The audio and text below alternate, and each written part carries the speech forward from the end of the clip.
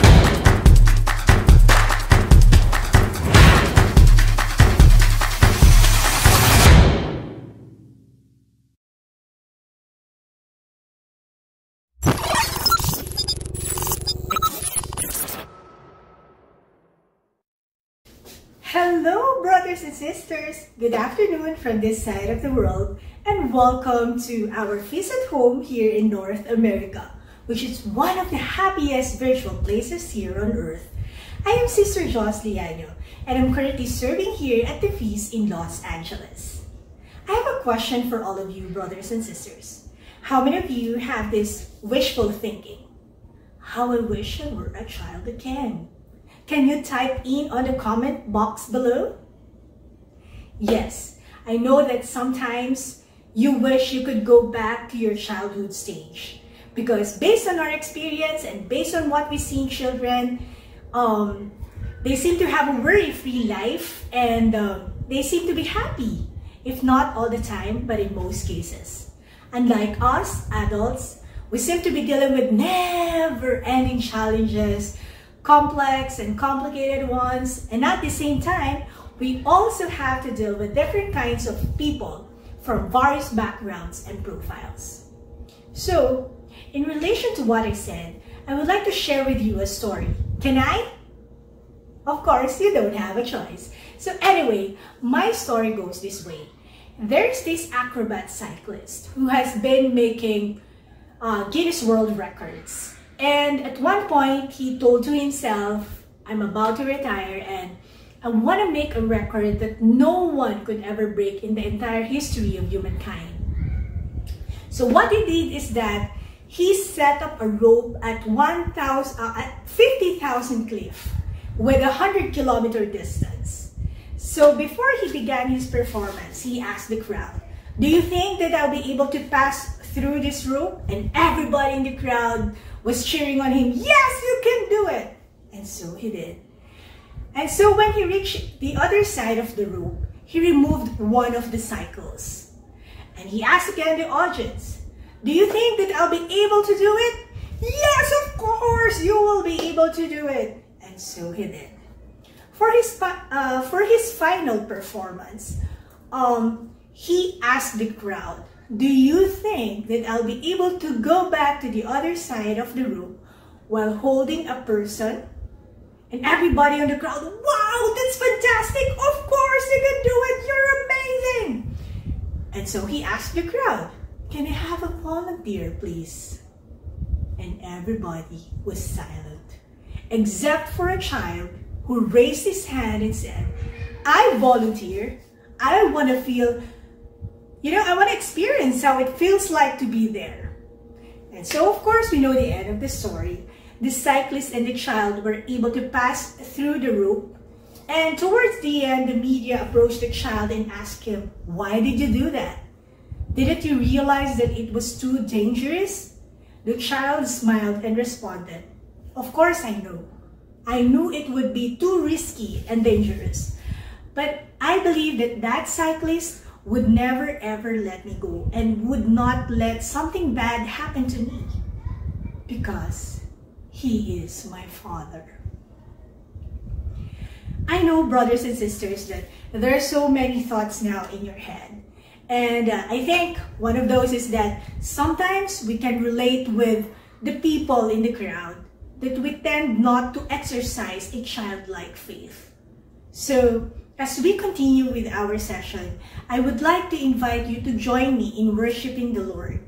And um, I have chosen this song, Oceans by Hillsong, because for me, it resonates in my spiritual life and it has relations with the story that I, I just shared with you.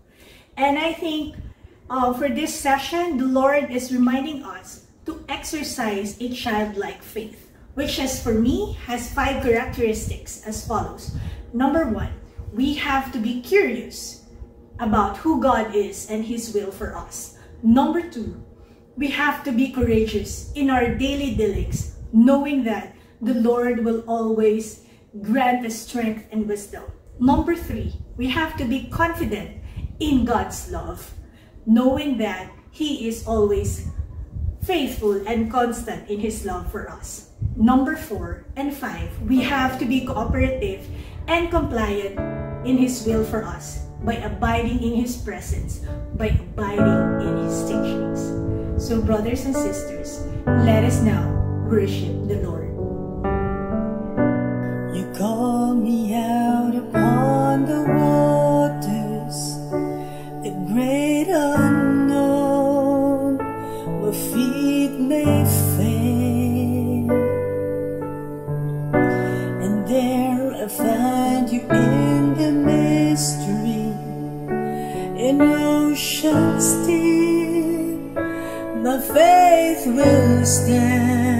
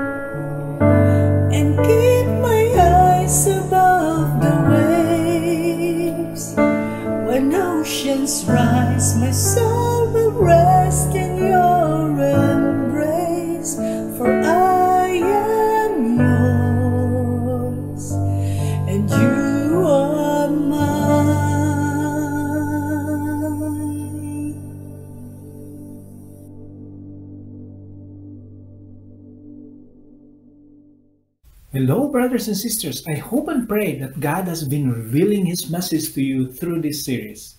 If you're ready, let's offer our declaration to God with great conviction. Today, I receive all of God's love for me. Today, I open myself to the unbounded, limitless, overflowing abundance of God's universe. Today, I open myself to God's blessings, healing, and miracles.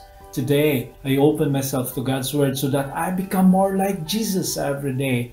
Today, I proclaim that I'm God's beloved, I'm God's servant, I'm God's powerful champion, and because I am blessed, I'm blessing the world in Jesus' name. Amen. If you have your Bible with you or Bible app on your phone, let's bookmark it to Matthew 18 and let's sing. Thy word is a lamp unto my feet and a light unto my path. Today, I want to preach the message throw away the ladder. One might wonder is there really a ladder in God's kingdom? It's pretty obvious that there's a ladder in the kingdom of this world, unless you've been living under a rock. You know, there's a very entrenched hierarchy around you. Some are rich, some are poor, some are powerful, some are powerless. That's why you hear the message aim for number one, aspire for the top, climb to the corporate ladder. But 2,000 years ago, Jesus came into this world to shake things up. If you've noticed, in many accounts of the Bible, Jesus came to build a kingdom with no letters where everyone had equal worth. All of us are the same, regardless of your profession, status in life, or color. He did it in two ways. First, Jesus treated the bottom dwellers as his VIPs. If you've noticed, the Beatitudes contains Jesus' VIP guest list for his kingdom party. He treated all the rejects of the society, the poor, the lepers, the tax collectors, the prostitutes, as beautiful human beings, the downcast. He treated them as his friends. He ate with them, laughed with them, and loved each one with great dignity and respect. He treated them as his God containers. Even his choice of disciples, he picked 12 outsiders nobody would have chosen. That's why the people on top, the religious leaders, didn't like what Jesus was doing because he was disregarding the hierarchy that was maintaining their power and privileges. Second, Jesus went down to the bottom of the ladder. Like most of us today, everyone wants to go up, but Jesus went down. He dove downward when God became a fetus in a young girl's belly. The greatest scandal of the universe, the Almighty God walked among us. And when Jesus became human, he didn't stop there. He always find ways to reach out to those who are at the bottom. In ancient times, the hierarchy of the Jewish society is like this. On top were the Roman conquerors of the day. Second were the puppet leaders like Herod. Third were the chief priests, Sadducees, and below them were the Pharisees, as well as anyone who had influence and money. Fourth were the small entrepreneurs, like the traders, carpenters, like Joseph, the foster father of Jesus, and fishermen like Peter, James, and John. At the bottom were the throwaways of the society, the poor, the lame, the blind, an adulterous woman that the Pharisees wanted to stone to death plus the Samaritan woman who had five husbands. And there were the tax collectors like Zacchaeus and Matthew, and of course, the lepers who everyone avoided. And at the bottom, the criminals who were humiliated in public and crucified on dirty crosses. That's where Jesus went. He went to the very bottom. In the same way, Jesus is telling us to treat everyone with respect He's telling you and me it's okay to be weak. It's okay to show our failures. You don't have to wear a mask. I am willing to accept you for who you are, even if you are at the end of the line. Jesus knows you and me, and He knows how to feel what is lacking in our heart. He is asking us to share His love to everyone. Brother Dan will dive into our Bible passage today.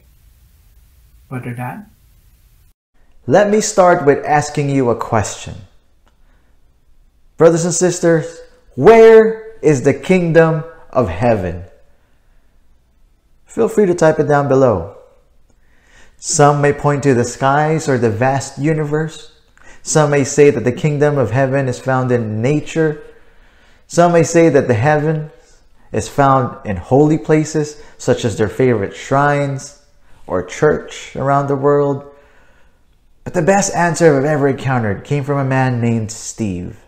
He said that he believes that heaven is anywhere God is present. Didn't Jesus say in Matthew 18 20, in 18 20 that for where there are two or three gathered in his name, that he is there in the midst of them? So if the kingdom of heaven is anywhere God is present, and if there are two or more people gathered in his name, then the feast is not only the happiest place on earth, but the happiest place in the whole universe. Because in the midst of us is God. And in every feast, we are participating in the kingdom of heaven. Amen. Good afternoon. My name is Brother Daniel Rodriguez, District Builder for Inland Empire, California. Please join me in thanking Brother Aldrin for yet another great talk. I hope you and your family are staying cool and blessed down there in Texas. Thank you. Now back to our scriptures. Notice that every single story we've read so far, we're building up to where we are now. In the 18th chapter of Matthew, verse 1. Say this out loud with me, please. The disciples came to Jesus and asked, Who is greatest in the kingdom of heaven? The original word used for kingdom was more of a verb than a noun. Brother Bo said it best, and quote, The kingdom was more an action than a place. When God reigns, that's the kingdom. Another favorite preacher of mine, one of my favorite pastors as well, Pastor Rick Warren, also said it best. Quote, the kingdom of God is God's people doing God's purposes on God's planet. That's it. It's not a place. It's not a thing. It's God's people doing God's purposes on God's planet. My siblings in Christ, can I ask you another question? Are you doing God's purpose on God's planet? If the answer is yes, then you are living in the kingdom of heaven. But who is the greatest in the kingdom of heaven? Why did the disciples ask this question? Maybe they were thinking if Jesus was going to become a king, take back Israel from the Romans and rule over it, who was going to be his right hand man? Who was going to be in his inner circle? His vice president, his secretary of defense, his secretary of state, his treasurer. Well, 2,000 years later, nothing much has changed. We live in a world where everything should be about me. For example, we take from nature more than we need. We don't even leave some behind for the next person, whether it's hunting, fishing, or buying canned goods or tissue during the pandemic. Take, take, take. I, I, I. Me, me, me. Me, oh my. No wonder so many people are miserable. If your motto is everything's about me, you'll be living alone in your own little universe. We want to be the greatest employee. We want to be the greatest politicians, the greatest entrepreneur, the greatest actress, the greatest actor, the greatest cook, the greatest parent, the greatest this, the greatest that.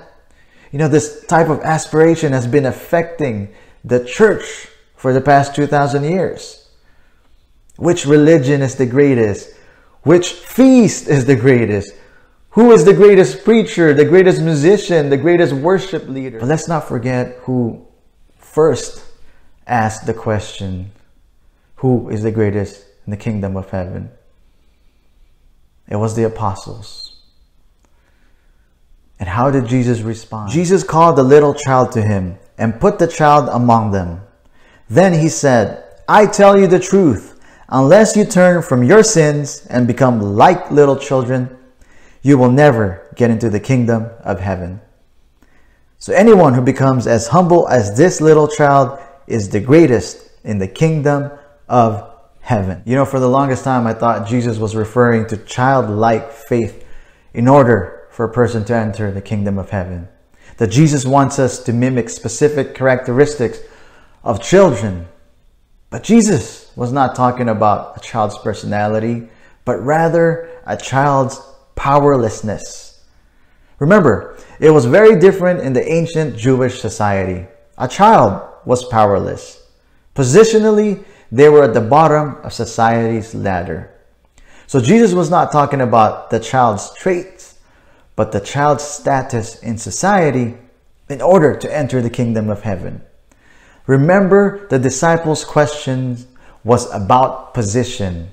Who is the greatest? Can I be the greatest? Can I be on top of the ladder? So to paraphrase Jesus, he was basically saying, saying hey guys, by asking that question, who is the greatest, you are joining the wrong kingdom. Because the kingdom of God, the kingdom of heaven, isn't a race to the top, but a race to the bottom. I mean, what did Jesus do while he was here on earth? He shared the good news, trained leaders, helped the poor, taught the children, and cared for the sick. So, how do you know if you're part of the kingdom? Check your purpose, check your why, check your center. And if Jesus is not in the center, and if everything's still about me, then God is not ruling in your life. You know, Jesus concluded by saying that anyone who welcomes a little child like this on my behalf is welcoming me. My brother in Christ, my sister in Christ, how do you treat the poor, the oppressed, the depressed? How do you treat your annoying coworker? Annoying coworker that you have to spend eight hours a day and five days a week with? What about your loving in-law? How do you treat the homeless? How do you treat someone you do not agree with politically? How about someone who has different gender preference? How do you treat people who have wronged you, hurt you, backstabbed you? In God's eyes, they are all His children. And in God's eyes, they are all your siblings. If you want to follow Jesus, if you really follow Jesus, if you think you're following Jesus, then there should be no ladder in your heart. You know, all my life, I've tried to throw away the inner ladder over and over and over again. And yet, over and over and over again, I have failed many times. I know I have a long way to go, I'm a work in progress. And I know there's just so much more that I can do. And so, daily, through meditation and prayer, I keep asking God for the grace to help me throw away that inner ladder in my heart. That's why God has blessed me to be surrounded by community of men and women who affirms me and like me continually strives to become the best version of ourselves despite falling over and over and over again. You know, one afternoon in a basketball league I was playing in years ago, a friend came up to me right before a game, and from afar I could already see the disappointment in his face as he walked towards me. To make the long story short, what had happened was that he and his girlfriend back then, they are married now, went to confession. At that time, they were both separated or divorced from their ex husband and ex wife. And one day, my you know, my friend just decided to take his girlfriend to confession so she could unload all the negative feelings and hurt she was carrying around. And of course, to ask for God's forgiveness. Unfortunately, midway to the confession, finding out about her marital situation, the priest, unfortunately, immediately denied her a confession. So let me close and wrap up this story with a tale. One day, a man was traveling on the road, and because it was getting dark, he fell into a pit. It was so deep, he couldn't get out. So he began to cry out for help. Speaking of a priest, a priest passed by and saw him in the pit, and he said, You fell because you are careless. You deserve to be in that pit. And the priest walked away. Then a pastor passed by and saw the guy in the pit. He said, If you only listen to me, you will not be in this pit. And he walked away. A preacher passed by and saw the man in the pit. And he said, If you'll get out of the pit, I'll teach you how not to fall in the pit again. And he walked away. Many other people, such as worship leaders, youth pastors, youth ministers, saw this man but did nothing. But then Jesus walked by, and without saying a word, he jumped into the bottom of the pit and pushed this man out of the pit. That's what Jesus did on the cross. He took the lowest place so that he could push us out of the bottom and whatever bottom you're going through right now. Jesus is here. Jesus is with you in your bottom. Whether it's the pit of depression, sickness, loss of a loved one, pit of unforgiveness, financial pitfall, divorce, pit of pride, whatever it is, He is with you in your bottom. And when you get out of that pit, He will give you a purpose. As a matter of fact, He will give you a purpose to get out of that pit. Speaking of pit, I was in a pit myself not too long ago. And as many of you already know, I had an accident where a pickup truck struck me while I was cycling. Two weeks later, as if that wasn't enough, my wife suffered a miscarriage. For a moment, for a certain time, I thought maybe, just maybe, the God of love was punishing me. But looking back at it, it was through the pit of darkness where God's light shined the brightest. He took me out of that pit. And it was in that pit, the six months of recuperating, the six months of physical therapy, the six months of trying to get over the miscarriage, this six months and a half is where I found my purpose. I would not have discerned and volunteered to be the Inland Empire District Builder in California if it wasn't for my pit. I dropped out of work scholarship program in getting a master's degree, letting go of my aspirations of climbing the ladder by continuing my discernment to become a deacon one day. Brothers and sisters, in the kingdom of heaven, there is no such thing as punishment, only purpose. I repeat, in the kingdom of heaven, there is no such thing as punishment, only purpose. So throw away that ladder right here and right now. And remember that the kingdom of God is measured in service. Amen. If this is a comfortable position for you, I ask that you raise an arm or two. Close your eyes.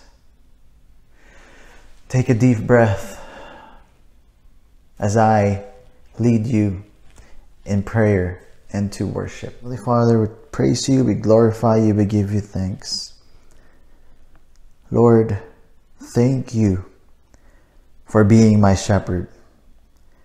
Shepherd who rescues me like a sheep who falls into a pit. Thank you for being my shepherd, the one who leads my life. The shepherd, the one who stands on the hillsides where I can see you clearly, where I can see you from afar. And as a sheep, Lord God, I will look to you, listen to your voice, and follow your leading by first getting rid of the ladder in my heart. And even though I walk in the valley of shadow of death, darkness and evil, I will not fear, for you are with me. The King of Kings, the greatest of all kingdoms, the God of love, the God of mercy, the God of light, my Savior, my God, and my best friend. Amen. Brothers and sisters, let's put God in the center and worship Him as we sing this song. Darkness we were waiting. Without hope, without light. Till from heaven you came running, there was mercy in your eyes. To fulfill the law and prophets. To a virgin came the word. From a throne of endless glory. To a cradle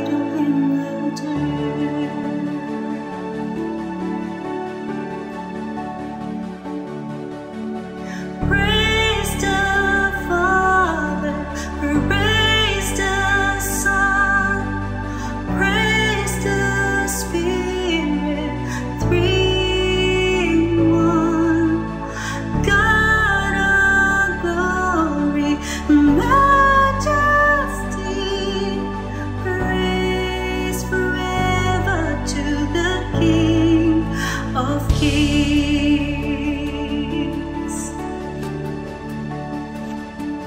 to reveal the kingdom coming and to reconcile the lost, to redeem the whole creation.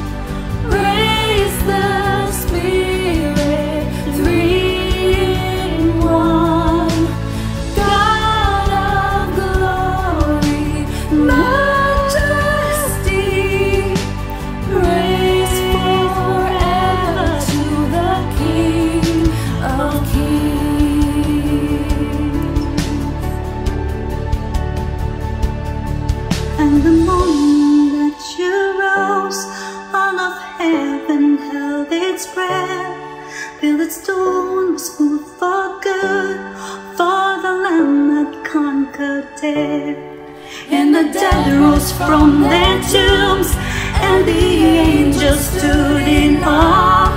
For the souls of all who'd gone to the Father are restored. And the church of Christ was born. Then the Spirit lit the flame. Now this gospel truth of hope shall not kneel, shall not faint. By His blood and in His name, in His freedom I am free. For the love of Jesus Christ, who has resurrected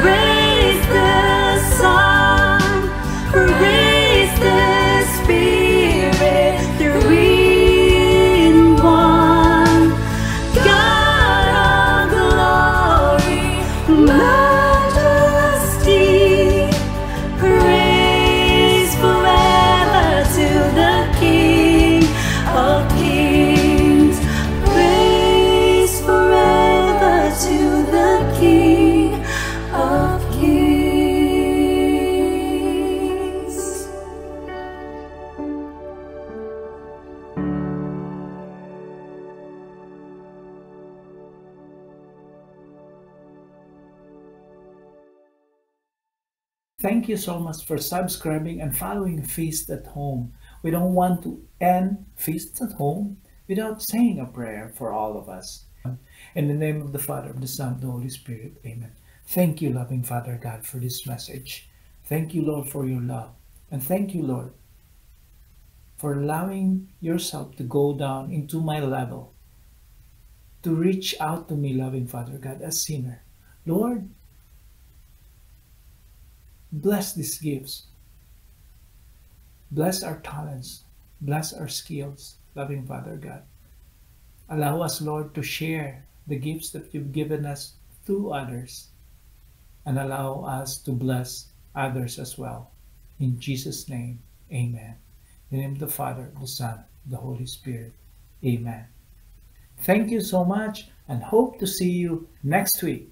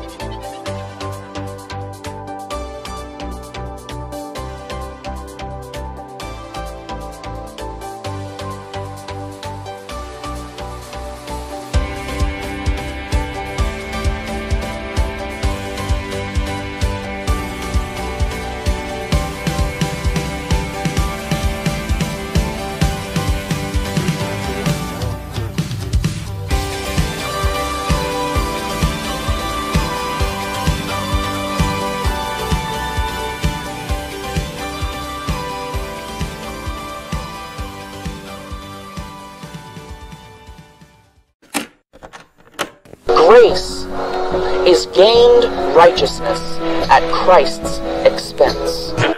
The grace of God is not generic. There is a dimension of grace. Grace is God choosing to bless us rather than curse us as our sin deserves. From Latin, price paid. Mercy is loving the unlovable and forgiving the unforgivable. So the grace of God gives you the ability to accept, to act, to appreciate, and to adore Christ. Realizing that forgiveness is setting a prisoner free and discovering that that prisoner is me.